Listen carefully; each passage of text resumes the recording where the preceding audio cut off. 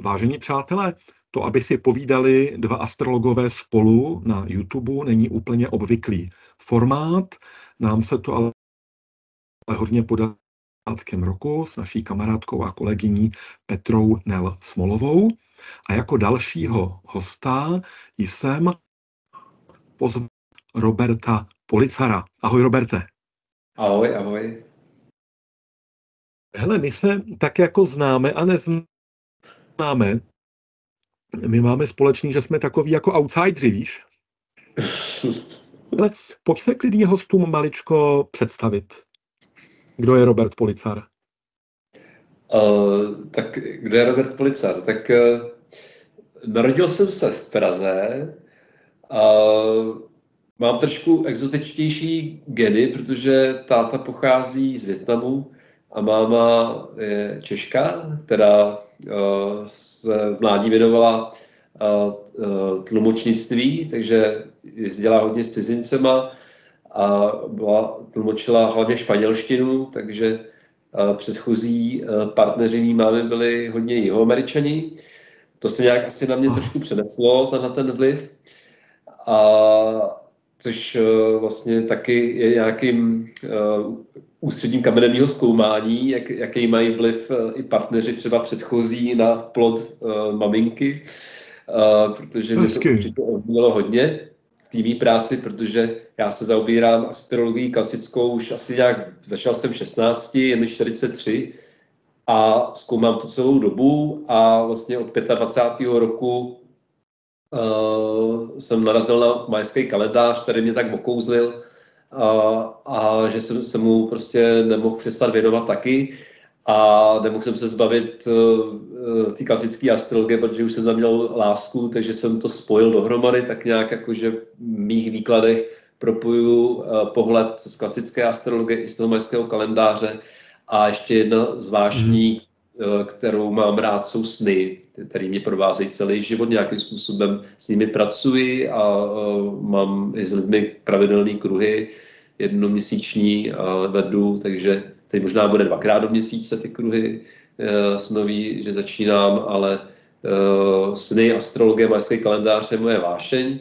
Mám sestru, ta je na půl kubánka, máme jiné otce, ta je o pět let starší a a ta má teda taky, bych řekl, trošku jako uh, ty geny malinko zblázněný, takže uh, nebylo asi ani pro jednoho z nás úplně jednoduchý se zařadit v tom dětství.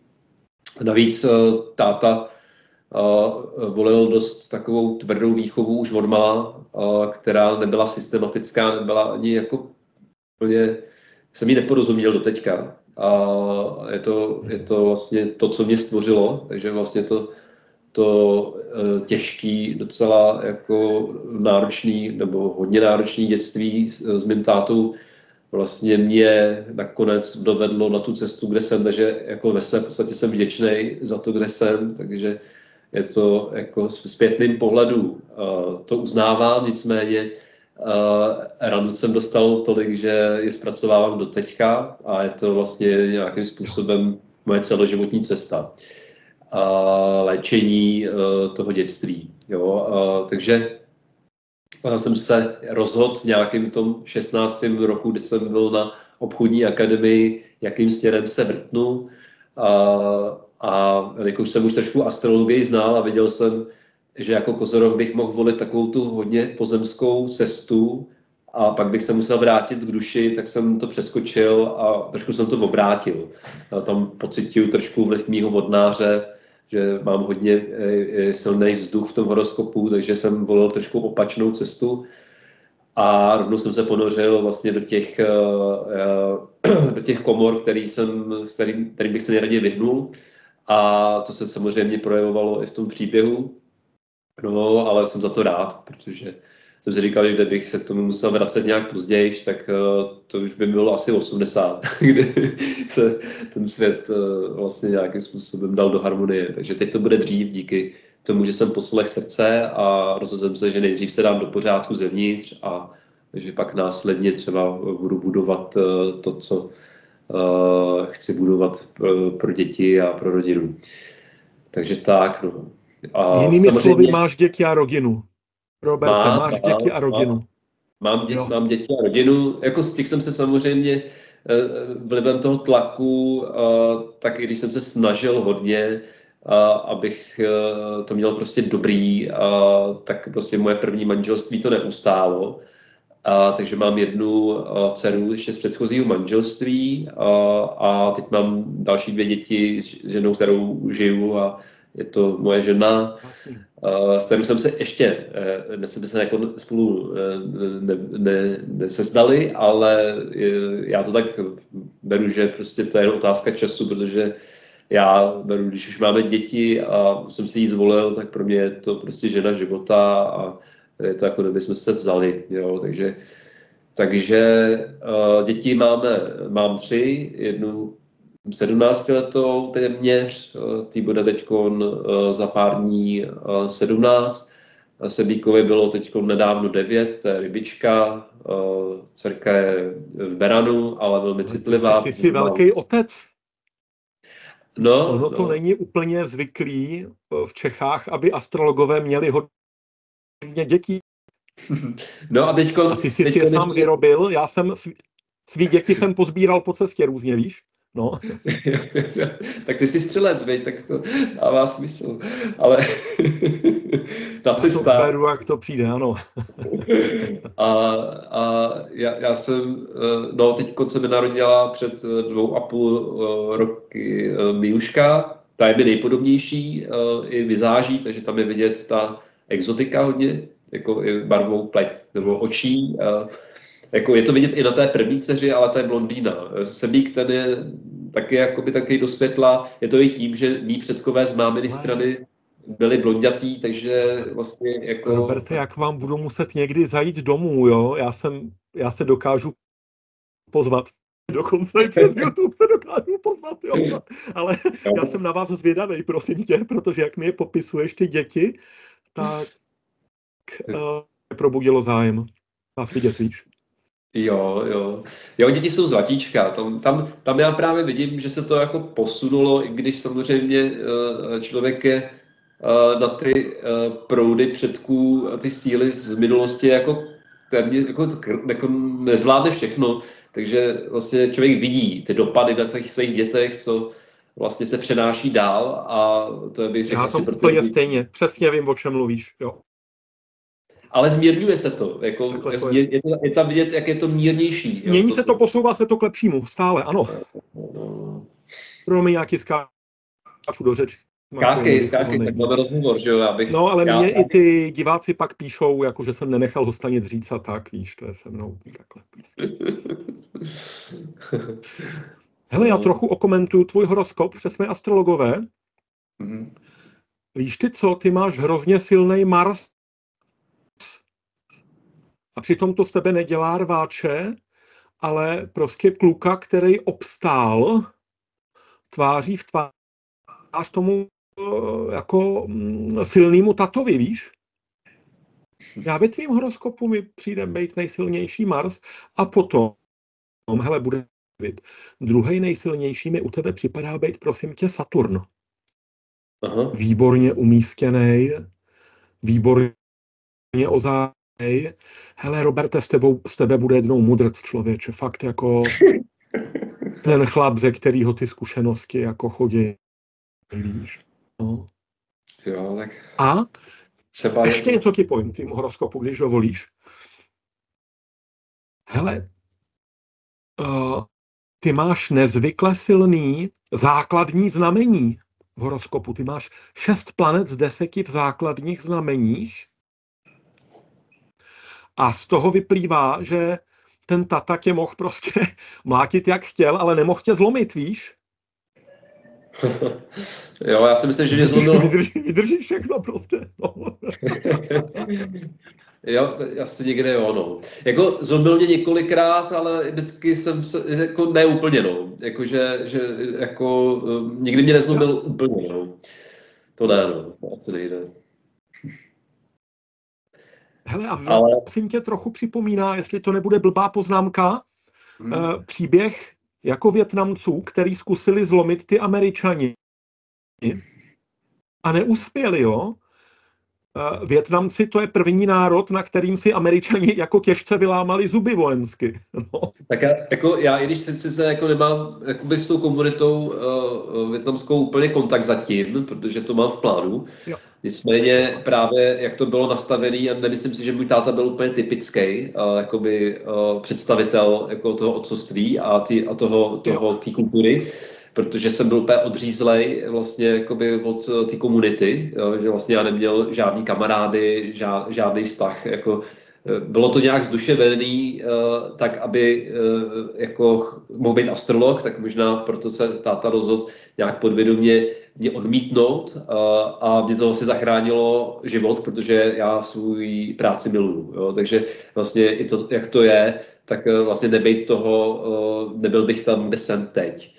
Nicméně eh, teď eh, se to asi k tomu 43. roku, vlastně, kde se mi blíží uranová opozice, eh, tak se to dost pro, pro, jakoby, přeskupuje ve mně v tom smyslu, že mám chuť vlastně ten Větnam objevovat. Je to i z toho důvodu, že moje první dcera má vlastně, když jako blonděták, má exotický rysy a má hlavně duši takovou jako jinou, ne úplně evropskou, a, a ta vlastně, tu vlastně Azie hodně přitahuje, takže ona nejde úplně přes Větnam, jde přes Koreu, jo, že má ráda K-pop.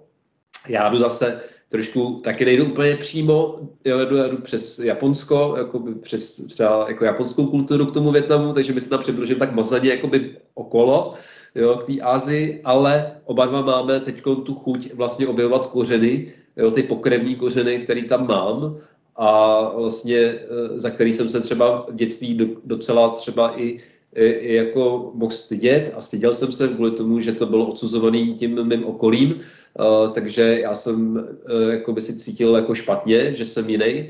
Uh, nicméně teď už jsem na to hrdý, že jsem přesně takový, jaký jsem a že nepatřím ani do jedné skupiny. To vlastně, já jsem se jako naučil mít rád toho, kým jsem a mám pocit, že jsem doma všude. Jo, jako ta daň, že nemám jakoby tu, ten kmen jakoby úplně silný, tak tam je. Jasnou identitu. Jo. Ale jako má to svoje jako, jakoby, i, i jakoby klady vlastně. Jo.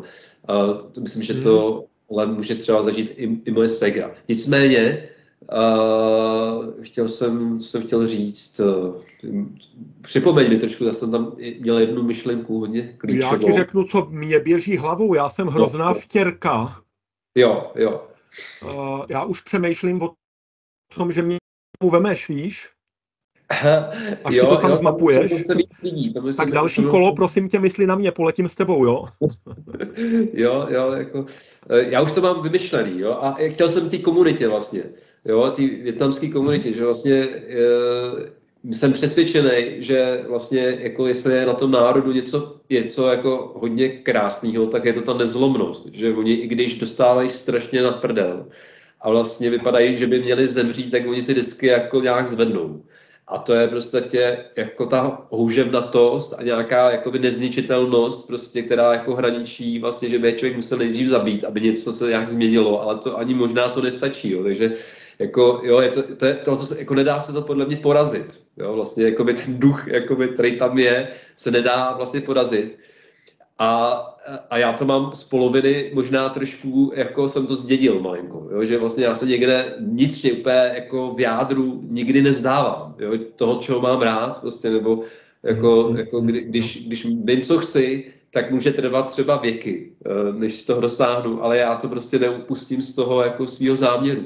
Jo, a to je, myslím, že to je trošku to, z toho jsem zdědil. Jako, jo. To je, prosím tě, Mars tvůj ve Vodnáři, poblíž Media Cely. A to je ten Saturn, který fakt je výborně ozářený prostě uh, Jupiterem Marsem, jo? že ta určitá jakoby tvrdost, která z tebe není patrná v, tý, v tom taktu, tak ona přesto vevnitř ti tam dává jako tenhle druh síly. A co jsme, prosím tě, já tady pro jsem se koural málem domů do Větnamu ještě do tvýho horoskopu, jo. Ale, hele, ty máš, hele, ty máš T kvadrát, slunce, luna, Pluto. A já to prosím tě znám, protože můj kamarád Patrik Bálint sem přijede za mnou zítra, tu zůstane tři dny Šumperku něco tvořit, tak on má opozici Slunce Pluto a on to s vlastním taťkou neměl jednoduchý jako dítě. A moje bývalá žena Kristýna má Lunu zase přesný trigon Pluto a ona dostávala hodně jako od svý máti naloženo, víš?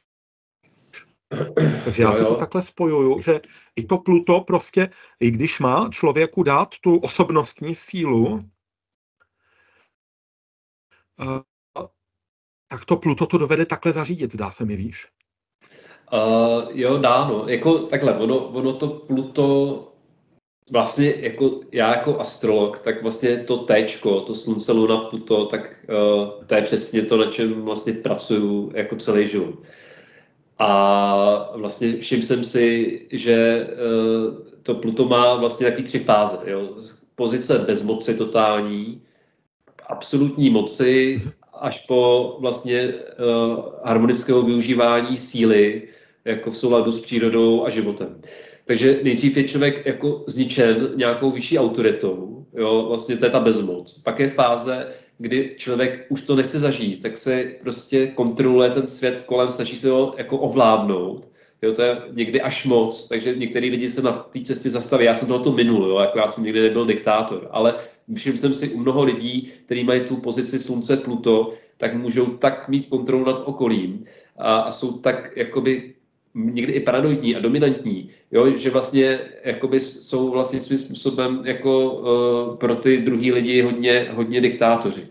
Takže buď jsou potlačení, nebo diktátoři. A pak ta nejvyzrálejší forma je, že dokážou vlastně poznat, kdy mají tu vůli jako, jako do něčeho se pustit, tu vůli prověřit a kdy to mají pustit a důvěřovat životu. A tyhle ty dvě fáze jsou hodně spojený podle mě s tím znamením štíra a toho osmého domu, kde vlastně to slunce má, jo, v tom osmi, jako na hrotu devátého, podle Kocha, protože já pracuji s Já ti ho počítám do devítky, prosím tě, to slunce. Ty máš to no, tak mám... mocný, že, ho, že ti to připomíná tu ten osmý dům, ale hele, říct, Roberte, ty jsi založením a podstatou učitel. Ty no, máš tři jako... planety v devátém to já nemám hochu v devátém domě tři planety, jako máš ty, jo? No víš to, jako, jako já, já třeba vím, že ta astrologie tam je komplikovaná v tom, že tam jakože ty domy, já pracuji s Kochem, jo, protože mám rád Steve Naroja, jo, jeho knihy mě jakoby nejvíc mm-hmm. jako nějakým způsobem probudili, a, takže když jsem zjistil, že pracuje s Kochem, tak jsem jako, eh, jako žák, jako jo, asi ví, co dělá.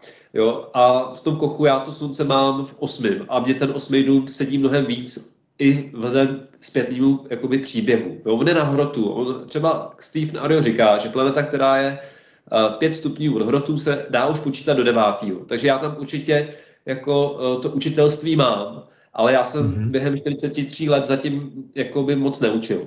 Jo, a spíš jako to vidím v tom Merkuru, že se jakoby učím jo, být učitelem a vlastně z toho jo. posvětí tak nějak jakoby vystupuju. Takže jako až teďko se dá říct, že jdu do toho devátého domu, ale jinak jsem byl těžce zavřený v tom osmém domu. Jo, měl jsem pokus o sebevraždu, byl jsem vlastně jako v 16 letech vlastně jakoby léčený uh, vlastně kvůli tomu, že jsem měl ten pokus. Jo, byl jsem tam chviličku, ale no, to téma... To Pluto tam dávalo hroznou čočku, prosím jo, tě, jo. jo, jo. Vlastně, jako, ale jaká, to, vidíš, to... vidíš, vidíš, proto, proto ty seš kým seš člověče, jo? No hele, já nejenom, že ti skáču do řeči, já dokonce i, prosím tě, přeruším náš rozhovor, protože já se s tebou bavím a mně tu chybí zelený čaj na stole. Kde, kde je moje konvička se zeleným čajem? Já nemůžu pokračovat, že prosím tě, jdu si uvařit čaj, za chvilku tu setkáme. zelený čaj je výborný. Já jsem z Prahy na něj zvyklý k obědu, já ho piju každý den, celou konvičku, i tady v Šumperku si dávám k obědu, k obědu konvičku zelenýho čaje a dneska nebyla. Tak prosím tě, vydrž mi tu, nebo taky si udělej, co chceš, třeba taky ten čaj a za chvilku pokračujeme, jo? Já bych tě otevřel druhou kapitolu toho rozhovoru našeho. Hele, ty jsi mě upozornil na prvek v horoskopu, kterým pracuješ. Já jsem mu vždycky vyhýbal. A to je ta takzvaná bílá luna, ta seléne, která není těles.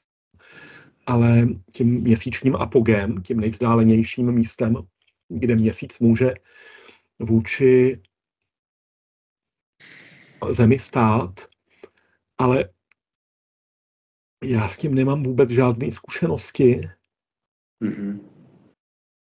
A mám na to zeptat, a aby o tom pak mluvil třeba i s příkladama, tak já bych tě na to prosím tě rád pozval, až budu dělat další hvězdný nejspíš na podzim, tak bys to ukázal prosím tě i s příkladama, jo? Jo, jo, jo. Ale jaký je to prosím tě základní čtení Selény? Ještě jednou, uh, tak to jak ty, jak ty, no, jak ty vnímáš? Co, když já vnímám, ty vidíš Selené... Hmm. Jelikož já jsem klienta, třeba... tak co ti tam chodí? Uh, je to takhle, ono těch samozřejmě pohledů je víc, ale já jenom, abych to uvedl na správnou míru, tak já vnímám celou astrologii jako takovou abecedu metafyzickou. Je člověk prostě se naučí nějaký základy, gramatiku, a prostě písmenka a mluví o duši. Jo? A je to prostě řeč o duši. A každou, každý, eh, každý aspekt vnímá trošku jinak, a což neznamená, že je to dobře nebo špatně, ale vnímá ho i trošku malinko jinak. Jo? A už jsem se setkal samozřejmě i s různými jinými přístupy k Bílé luně, jo? které uh, vlastně třeba i se snaží ukázat i na její nějakou temnější stránku, což jako Uh, jako mě tam právě třeba úplně nepřijde, jo, že, že, uh, jako, že tam je málo. Jo. Může být taky samozřejmě, ale uh, tam bych vnímal spíš třeba tu neptunickou odlítlost, takovou tu jako astrální jako přehnanou vnímavost, kterou třeba mají někteří lidi třeba ty tendenci mít třeba, když mají silně aspektovaný Neptun nebo Lilith v rybách, jo, že, že, že, se jim otevírá ten astrál buď hrozně moc, nebo vůbec, jo, jakože buď jsou to ateisti, anebo prostě komunikují se všema možnýma entitama a i nižším astrálem. Takže já tu bílou lunu vnímám jako čistou takovou andělskou energii, jo, něco jako požehnání, jo, takový, dá se říct, jako dary, dary světla. Jo, a vlastně je to tak čistý za mě, jo, že i když to vytváří třeba i jako nějaký jako uh, negativní aspekty, tak je to spíš o tom, že se ten člověk těm aspekt, jo, tomu, tomu daru nelze tak snadno dostat, jo, že jo, třeba neví, jak ho probudit, ale jako by to bílou lidu vnímám jako takový bílý čistý světlo, jo, jako kdybych byl poetický. A hmm.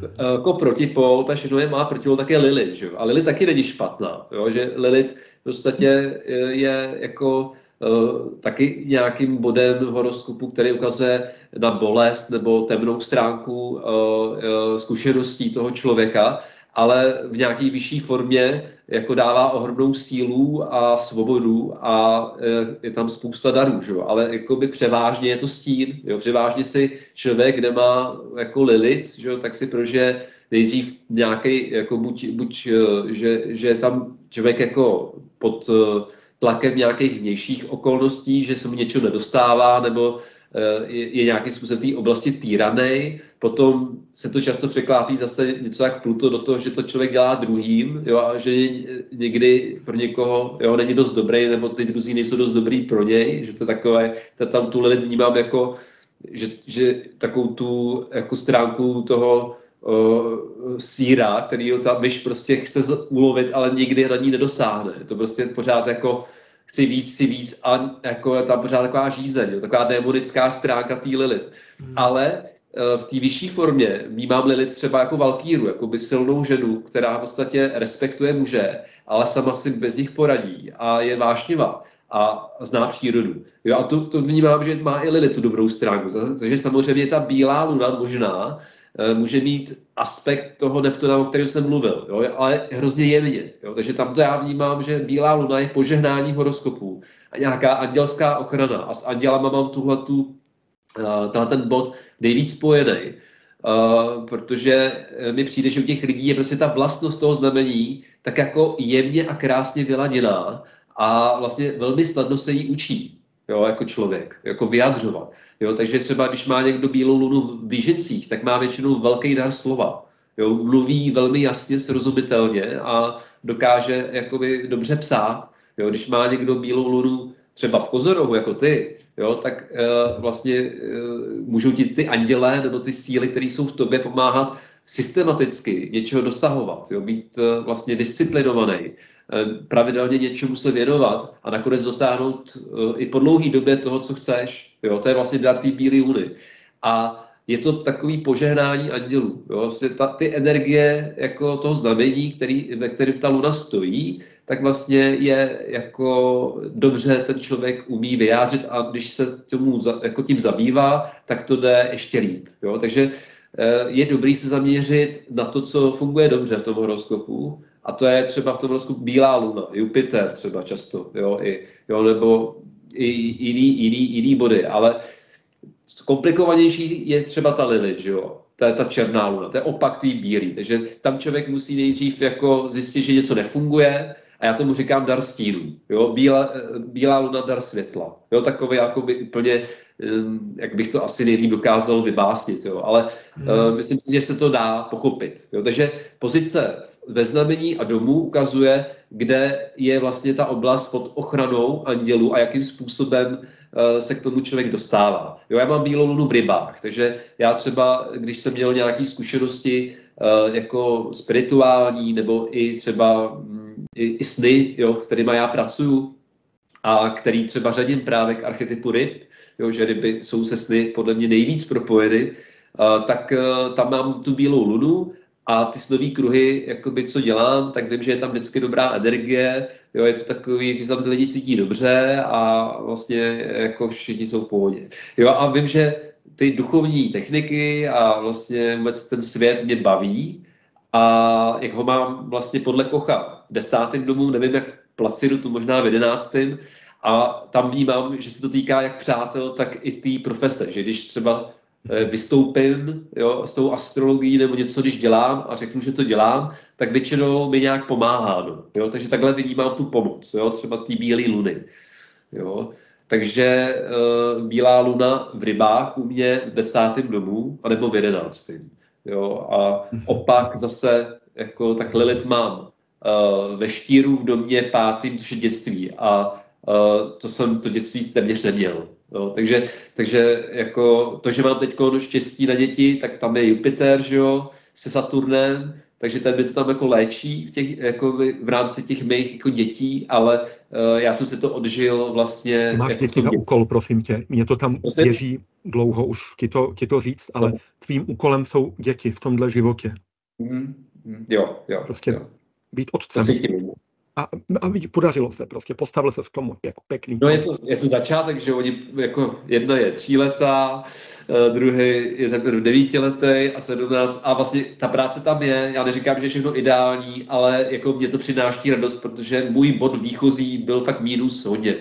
Takže i když teď to jakoby třeba pro hodně lidí není ideální, tak pro mě je to ráj. Jo, ale já jdu dál, já jdu samozřejmě dál, ale prostě můj výchozí bod byl eh, té naší rodiny byl fakt jako hodně mínusů. Jo, takže jako je fakt, že to, co mně přijde dobrý, může mnoha lidem připadat normální. Jo, ale uh, je to tím, že prostě ten výchozí bod byl trošku jinde. Jo, takže, takže já se dokážu asi jako vážit věcí, uh, který prostě uh, by třeba pro ostatní bylo jako, je to jako normální. Jo, nebo samozřejmě. Pro mě třeba tyhle ty věci samozřejmě nejsou, takže já můžu mít třeba v, v, vlastně v těch dětech vidět tu radost uh, i v situacích, kde by třeba ostatní lidi řekli, no a co, jako, je to normální, jo, třeba, jo. Ale každopádně, uh, jak jsi říkal, to tě musím dát za pravdu, tak velký pouto s dětmi cítím, jo, a Uh, taky mám pocit, že teď se to překlápí jako do hlubší a hlubší práce s nimi. Jo, do teďka jsem řešil hlavně svoje dětství a teď vlastně mám i chuť jakoby víc jako zkoumat tohleto pole, protože eh, vlivem mýho extrému, uh, kdy jsem byl hodně, jakoby, jak by to řekl, usurpovaný, jo, a, a neměl jsem téměř žádnou svobodu, což pro mě bylo s těma vodnářskými planetama těžký, tak já teď inklinuju k tomu extrému, že neumím moc dávat hranice. A učím se tak, abych je dával jako citlivě. Jo, ale vlastně hledám to, protože Eh, mám tam spíš ten dar stínu, že mi nebylo ukázáno, jak se to dělá dobře a já to musím hledat tak eh, jinde, jako v jiných, v jiných sférách. Jo. Ale mám, mám děti moc rád a cítím i lásku ze jejich strany k sobě. A to je podle mě to vítězství, kterého jsem jako dosáhl a řekl bych, že to je v tom mém životě i nejcennější vlastně jako zatím jako dar, který já dokážu ocenit. Že to je no. Jo, jo, jo, jo, jo, přesně tak. Hele, já ti tu do toho horoskopu, jak tě poslouchám, do horoskopu ti koukám. Mm.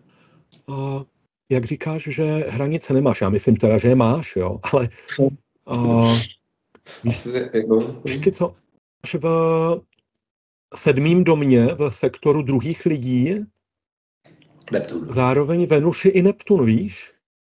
Hmm. Jo. A ono ti to dovoluje, abys na druhých lidech viděl jejich lepší vlastnosti, hmm. případně, aby si je i trochu realizoval, což myslím, že nevadí, zejména v souvislosti prostě s manželstvím. Jo, je krásný, když muž vidí na svojí ženě její krásný vlastnosti a její krásnou prostě esenci. A ty, tobě to tam jde snadno, jako s Venuší a Neptunem v sedmým domě, je, víš? A ještě přidám, jo? Hmm. Ale má, dej slovo, ať ti ne, ať, pak mám ještě něco pro tebe. Pokračuj, abych ti, já zase neskákal do řeči, jo? pokračuj. Ne, to, to tady se, učíme se spolu bavit. Na, na YouTube jsme poprvé dneska takhle spolu, jo. Ale víš ty, co mi došlo? Hele, ty máš uh, Neptun zároveň v aspektu na Slunce i na Měsíc. A vlastně ascendent, že jo, tam je jakoby opozice, jako svým způsobem. No. A volná opozice, no, ale na to, na to slunko a mě to úplně přesný, byť jsou to ty minoritní aspekty, prostě 30, um, ehm, jo, a teď ten Luna Neptun. Jo, to, to je. A ty brďo, ale tak tyhle trigony, to, jsou, to je základ tvýho horoskopu, prosím tě. Ale tam najednou to vysvětluje i tu jakoby subtilnost, víš? Jo, jo, jo. A ten jako idealistický prvek zájem o psychologii a tohle víš, to je krása, jo. Děkuju. Hele, jo, když jsme u aspektu, hele, ty, ty zase máš něco, co já nemám, totiž, že uh, ty seš schopný číst uh, ty aspekty 72 a 144 stupňů. Víš?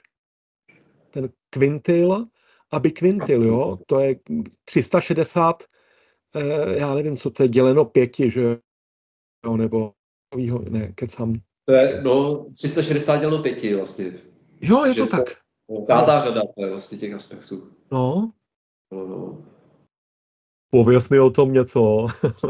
uh, No, tak eh, třeba v tom horoskopu já s tím docela pracuju, protože většinou vlastně to spojuje znamení v jiných živlech. Ale eh, nevytváří to takový tlak, ale naopak jako určitou symbiózu. Takže eh, vlastně třeba já mám bikvintil mezi sluncem a ascendentem v blížencích, takže kozoroch jo, a blíženec. A vlastně u mě je to tak jakoby uh, zajímavě jako spojený, že se nedá úplně říct, že by byl úplně lehkovážný, protože jsem kozoroch a nedá se říct, že bych byl úplně málo mluvný, uh, protože mám vlastně blížencích. A že se tyhle ty dvě síly jako spolily v takový jako harmonický, jo, někdy se říká magický aspekt, protože pentagram je symbol magie, Uh, a vlastně ten uh, bikvintil, který je vlastně 144 že jo, stupňů, tak to BKV jako eh, ty lidi mají schopnost vlastně projevit ten talent eh, toho bikvintilu vlastně ve své profesi, což já vlastně dělám, že já o astrologii mluvím nebo i píšu. Jo, a, a, a asi zřejmě budu chtít i učit, jo, jak jsi říkal, jo, to, to, to mám v plánu.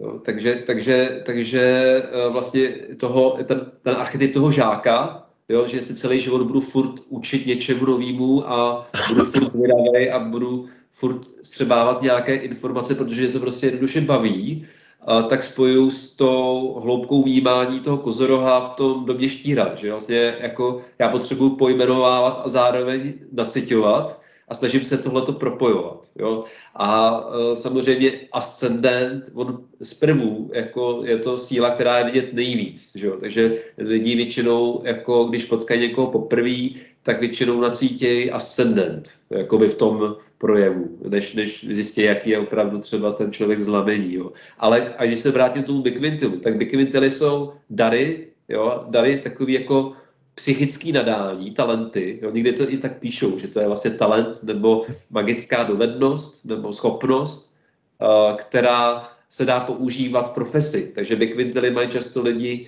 jo, třeba když má někdo luna urán, bikvintil, když mám taky, jako, tak uh, často dělají právě terapeuty, osvobozují, že jo, uran osvobození, to starý, co vlastně otravuje duši nebo nějakým blokuje tu duši, tak vlastně spoustu psychologů, terapeutů mají aspekt Luna Uran. Měl to vlastně i Jung, že jo, měl to jako spousta jako významných psychologů právě na ten aspekt má a ty máš Lunu Uran, že jo, v konjunkci. Svým Baudyš se hlásí. No, no, takže, takže ty lidi, co mají tu lunu uran, tak opravdu se snaží najít prostředky, jak se zbavit minulosti a překonat ji a pomáhají i druhým tu minulost no. překonat a osvobodit jejich duši. Jo, a to vlastně... Mě teprve když jsem si ty kvintily a bikvintily u tebe zapnul, jo, tak se mi ta astrologie u tebe ukázala. Mm. Prosím tě, můj tata dělal svýho času statistický takový šetření, jaký prvky mají astroloskopu. A on ti přišel na to, že jsou to určitý stupí kruhu, který jako kdyby tu astrologii aktivovali. Což je u tebe mimochodem to Pluto na 24 vah. Ale úplně nejrozšířenější tam byl buď aspekt Luny na Mars, anebo Luny na Uran, anebo v oboje, jako aspekt Luny na no, Mars a Uran. Já tam mám, a ty to tam, tam máš ten, oboje, člověče. Já tam mám ten trigon, no. Já tam mám vlastně jako Luna, Mars, Uran, trigon takový ten velký trigon, jako je, je třeba trigon, že jo, jako vodní nebo vzdušný, tak mám ten bikvintelový trigon, takový trigon, ten trůhelník vlastně. Tam. Jo, jo, jo, jo, no já k tomu budeme muset říkat, a ne, to není, to, to, tak to je nějaký asi kvintilon, prosím tě. Velký kvintilon tam. Jo, a ty, a ty, a ty kvintily těch 72 stupňů, ty jsou vlastně jakoby, že menší vzdálenost, tak to, má, to je většinou nějaká dovednost, talent, eh, eh, který jakoby člověk používá ve svém osobním životě. Jo? Že jo, není tak viditelný jako ten bikvintil. Jo? Když má někdo třeba Venuši bikvintil Pluto, tak je to třeba nějaká modelka, jo? která v podstatě okouzlí v podstatě jako v nějakým výkonem nebo filmem nebo něčím celou veřejnost, jo, tak, ten, tak ten dekvintil má větší sílu do toho prostoru. A když má kvintil, tak to je, že třeba doma ve svém životě, jo, osobním a mezi přáteli, tak nějakým způsobem jako taky působí podobně, ale ne má to takovou sílu z mýho zkoumání jako bikvintil. Bikvintil je vždycky jako viditelný pro tu veřejnost víc. Jo, to je takový jakoby dar, který jako, jako si, si člověk všimne.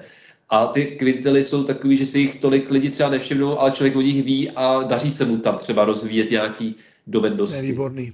To je výborný. Hele, on uh, kvintily, mm, aby kvintily učil Pavel Turnovský ve své škole.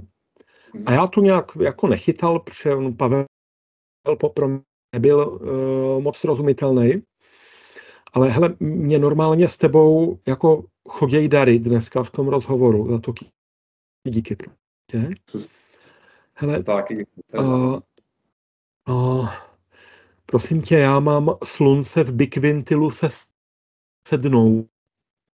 A najednou mi to dává smysl. Já tu sednu obrovsky cítím.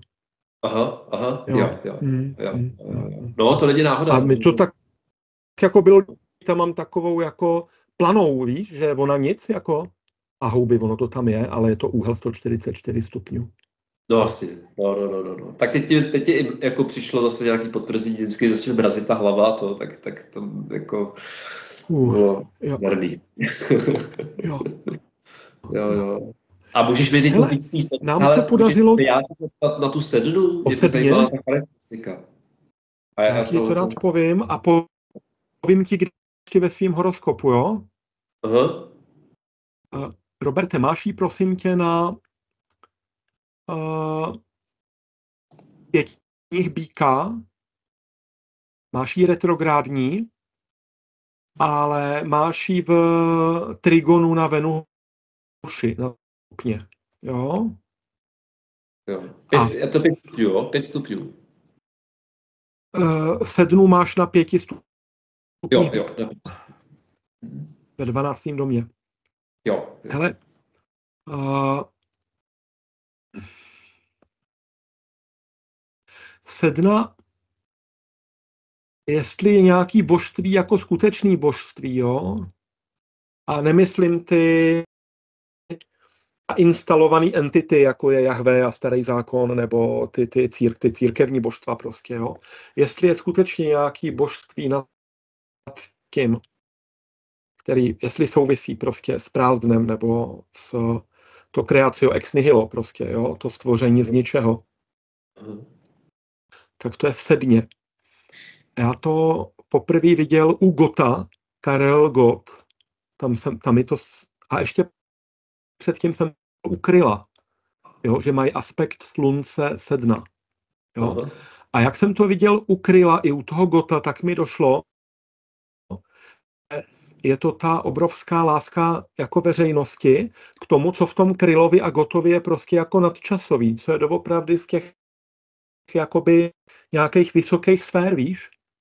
Aha. Že skrze ně se projevovalo, i když oni to tam ani nemuseli nějak jako prožívat nebo o tom vědět, nebo vím, víš, že? No. Jo, jo, ale není to jako, že něco náboženského, jako že papež, nebo vůbec ne. Právě naopak.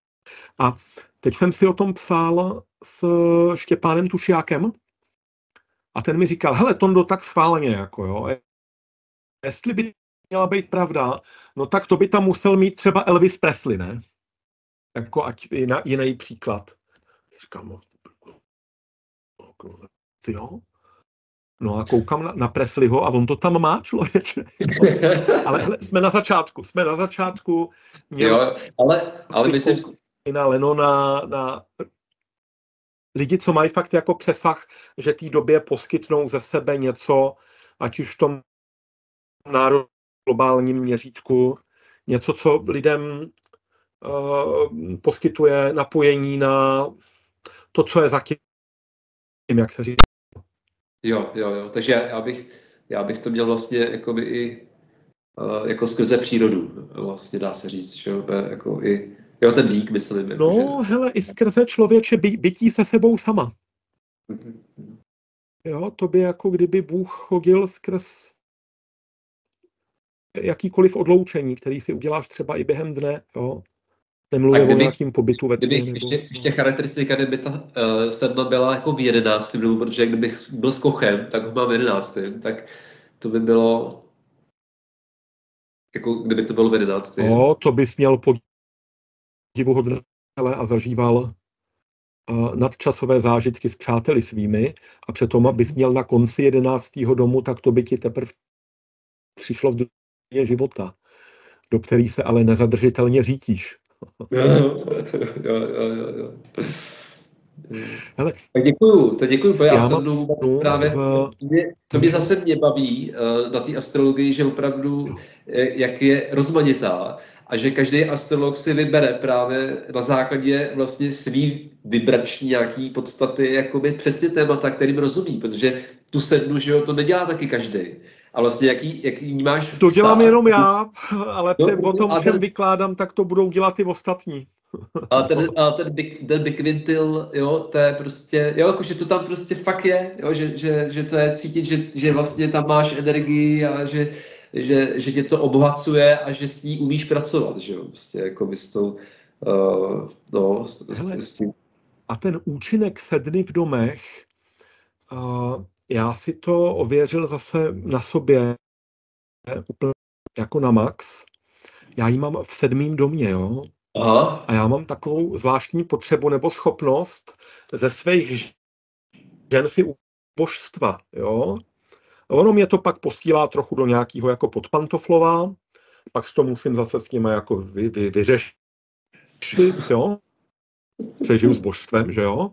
Ale i tu orientaci na ty ženy, které tam fakt mají ty jako hodně vysoký kvality, nějak víš. No. Jo, jo. To jo, zajímavý.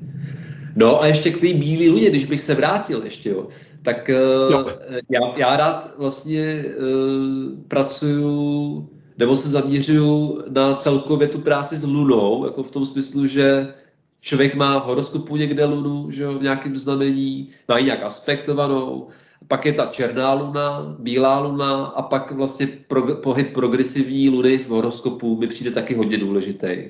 Jo, si pracuju dost, a, protože je to takový zajímavý cyklus, na který se dá jako naladit a něco se s tím dá dělat. Protože některé ty cykly jsou rychlý, některé jsou až moc pomalý, ale vlastně ty cykly progresivní luny jsou hodně podobný Saturnu, což je vlastně taky paralela, že to je vlastně ten kozoroch a Saturn je ten vnější svět, který po nás něco jako pořádce a tlačí na nás a Luna, ta je zase ty pot, o potřebách té naší duše. Takže já tam mám tu progresivní lunu, že jo, lunu jako takovou, černou lunu, bílou lunu a lunární uzly. A tohle to mi dává takový hezký obrázek jako o té duši toho člověka, že jo, samozřejmě. Jo, jako, že, to mám takhle nastavený, že se tyhle, ty, jako tyhle ty body a, a, to, a to, co z toho cítím dohromady, tak to nějakým způsobem pak interpretuju. Ale je, baví mě to sledovat takhle, no, jako, takhle jako komplexně. Ale ty tam, ty jsi tam dostal obrovský tím, že tvůj tatínek pochází z východní Asie. Protože ty tam, Roberty, ty tam máš jinou výbavu, než my máme tady prostě, že čistý Češi. Jo, přesně tohle, o čem mluvíš, to, jakým způsobem ty chytáš prostě ty eh, jako lunární rozdíly. Jirka hodně dobrý na Lunu, protože on má obrovsky silnou vraku v prvním domě, jo. Ale tohle, co ty popisuješ, je ještě jiný. A mě to spojuje já mám prosím tě kamaráda, který uh, pracoval na českým zastupitelským úřadu v Han. A on mi popisoval, jaká je ta poetika severního Větnamu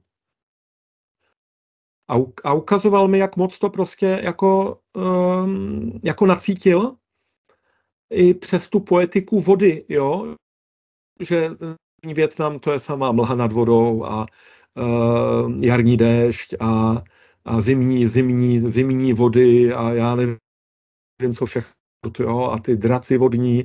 A on mě bere zásadně na oběd k malýmu Budhovi do větnamské restaurace jo, nahoře v Nerudo. No. Tak jenom ti chci říct, že tohle to ti, prosím tě, tvůj taťka dal, víš. Jo, já bych řekl, že mi to dali ty předci, no. jako tá, táta mi dal tělo, Aha, promiň. to jsem vděčný naprosto, ale myslím si, že jakoby toho ducha mi dali předci. Přišlo to přes tátu, to je ne, tohle je, tohle je, uh, já tohle slyšel u Radka Wolfa, to je uh, takový svéraz z Valašského Meziříčí, který udělal výpravu do Jakutska eh, na Sibiři. A on to všechno má navázaný prostě na předky. Jako on vnímá svý předky a tam jel se poklonit jako předkům těch, těch, těch šamanů a s těma šamanama mluvil o jejich předcích, víš. A moje žena mi říká, že to původní náboženství. Jo, jo, jo než přišly ty dosazený bohové a kraviny prostě. Vlastně že, no. že vlastně to jako prvotní náboženství Větnamu jsou předkové. No, to, a já tím směrem tom právě jdu, já jsem se jakoby udělal, uh, udělal jako uh, konstelační kurz, vlastně jako abych to mohl stavět taky lidem, uh, takže uh, vlastně mám v plánu do budoucna, až se trošku naučím větnamsky a pak třeba se nějak dostanu do toho Větnamu s dcerkou, tak uh, jim tam ukázat, jak se třeba pracuje s, uh, s předkama jako i jinak. Ale to je taková hodně odvážná vize, nicméně mm. chtěl bych tam aspoň seznámit moji rodinu. Až tam třeba přijedu a vlastně spojím se tam s mýma bratrancema, s trýdama, který tam jsou, což byl vlastně taky jakoby v tom příběhu hodně důležitý okamžik, protože to to, ta, ta bolest z toho dětství byla tak velká, že jsem si to hodně ucpal. A, protože ten, ta nenávist e, a vlastně i to ublížení k otci se musel zpracovávat několik, několik desítek let.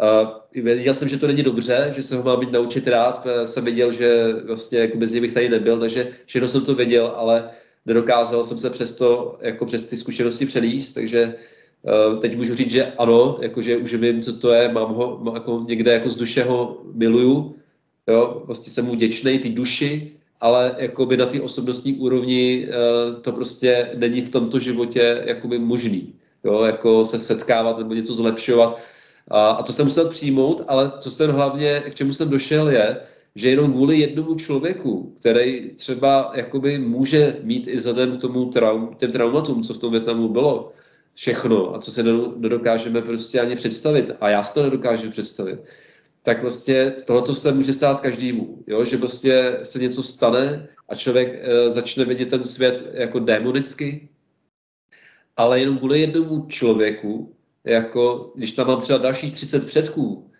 uh, příbuzných v podstatě a jde to dál a abych jenom kvůli jedné zkušenosti vlastně jako zavrh tolik lidí, tak mi to nedává smysl. A vlastně i třeba to moje dítě, jo, to ta jesmínka mi připomenula, že je nutný to objevovat, ty pokrevní kořeny. Protože já ty duchovní mám spíš v Jižní Americe ale ty pokrevní, to tělo, eh, tak tam vím, že ty předkové jsou ve Větnamu a musím vlastně obsáhnout obě dvě jako části tenhle ten život, jo, což jako i naznačuje můj devátý dům, že se k tomu schyluje. Jo. Ten Kozorov to trošku zdržel, jo, takže já jsem si zatím moc nenacestoval, ale evidentně jako k tomu směřuju. No. Já si to umím představit zase nějaký můj vlastní aspekt, kde uh,